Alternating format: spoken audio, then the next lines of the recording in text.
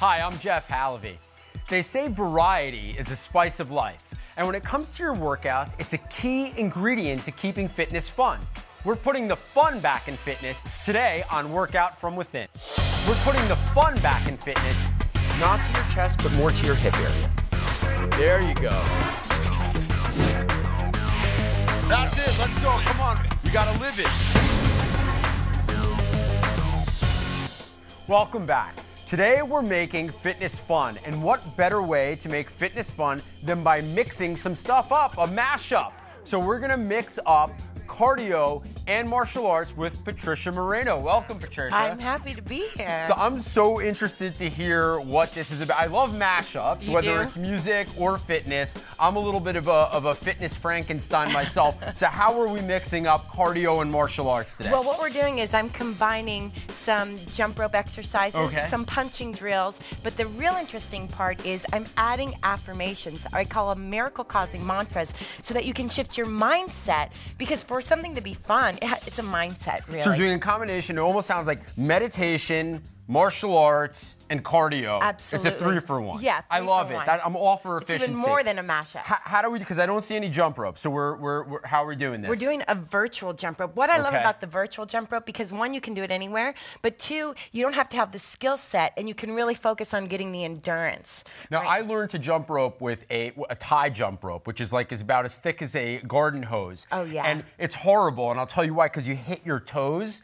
Very, very painful. Very painful. Yeah. So it, it's not it's not half bad working with a with the virtual jump rope to start. To yeah. start, because you can also get the action. And what we're talking Right. about is a feeling, right? Cool. We want to wake up a feeling. So I want to show you first the punching things that we're going Okay. to do. So I, I teach people the on guard position. Okay. And then the first punching is just being alternating cross Right. punches, right?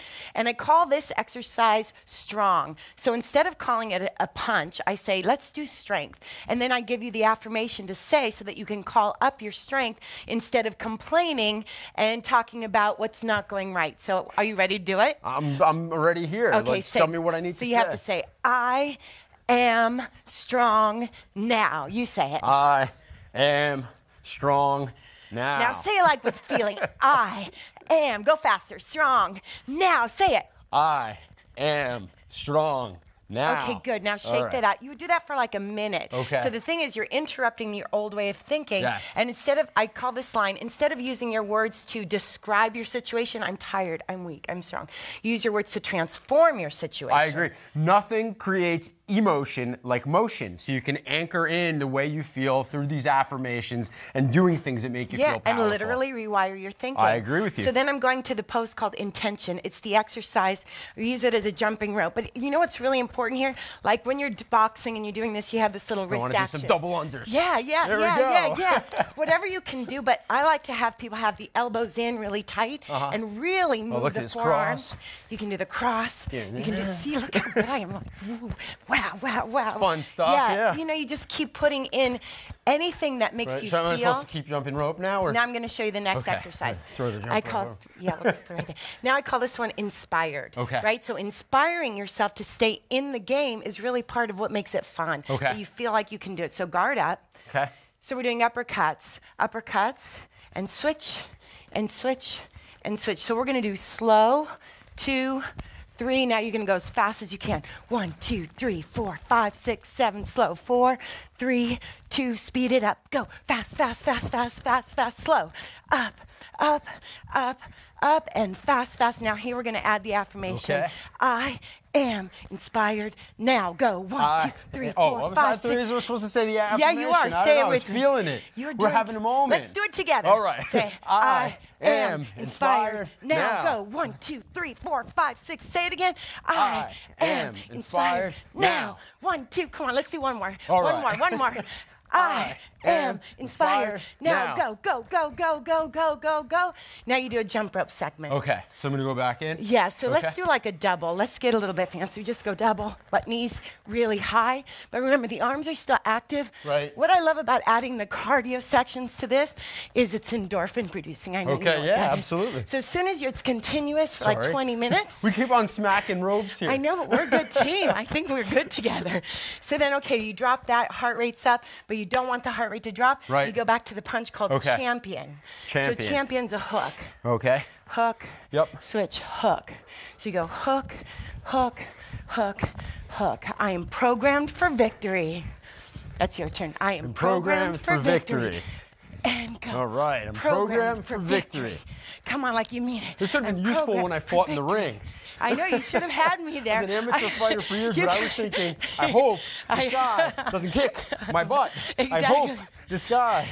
You'd have been I like that program for victory one I'm more. programmed for victory. No obstacle can defeat me. All right, no obstacle can defeat me. No obstacle can defeat me. Oh, no obstacle can defeat me. Awesome, awesome, awesome. But you can see how it just energizes Yeah, you, right? absolutely. So many people are in the exercise and they're like, oh, this will never work. I'm too Uh-huh. tired. But even a little bit, even a little bit, five minutes changes and alters your Right. mood. But then when you get to 20 minutes, it really moves you into a different state And of we're mind. working the whole body the whole body and the mind. And the mind. And the mind is the first part, right? So once your mind is in alignment with the victory that you are standing for, Right.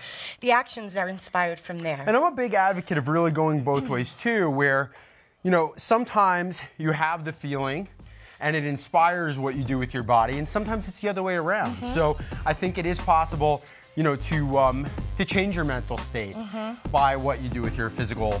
Oh, as well, completely. yeah. I know that's a big part of mine. That when I'm in a state where I don't feel inspired, I've got to move. I've got to really get into action so that I can think more clearly. Patricia, we're on the same page. Stick around because Patricia's sticking around. I'm definitely sticking. Okay, awesome. You're sticking around. And coming up later on, simulated surfing in your living room. Wow. We need to do a uh,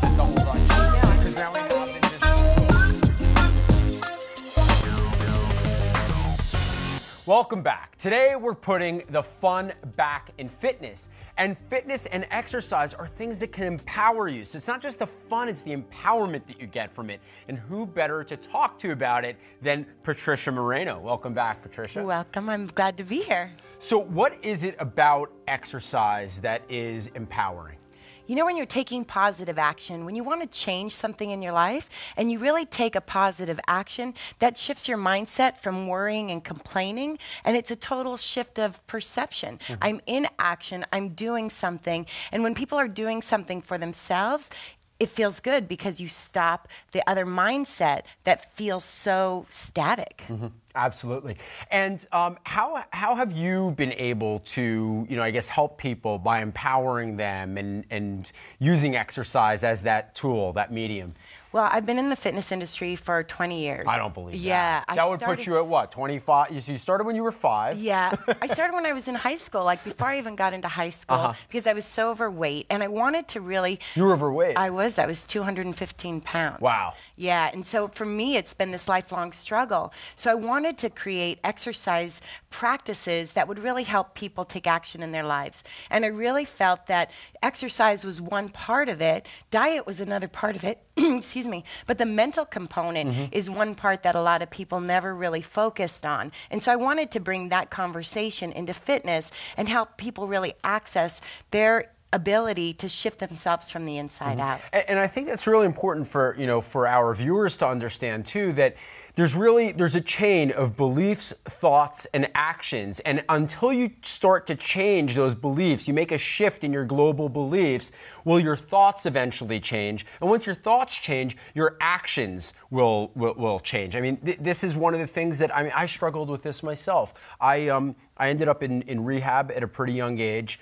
Um, I suffered a major depression, and I, I didn't know what depression was until I suffered. I literally did not leave a recliner at my parents' house for months. Wow. I mean, I, I got up. I, th- I don't even remember going to the bathroom. I mean, I, I got up to only go to the bathroom, but like I had this hoodie that I wore. It, it was horrible. And as a matter of fact, my uh, my father tried to kind of snap me out of it, and he suggested I go jog a mile with him.